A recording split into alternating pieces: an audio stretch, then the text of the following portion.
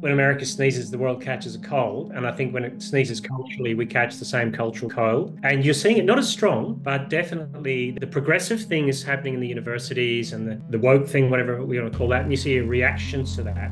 And in your churches, you're seeing people saying, well, you know, Australia's a different experience to the to the US. It's always been deeply secular and always pulled its politics apart from its religion and kept them at arm's length. But what you're seeing now in a post-religious age, something's got to fill the gap. Politics has become hot religion across the West. And that is churning things very quickly. It's not just a case of whether your opponent is wrong, but whether they're bad. It's a moral category, politics. And that has changed everything.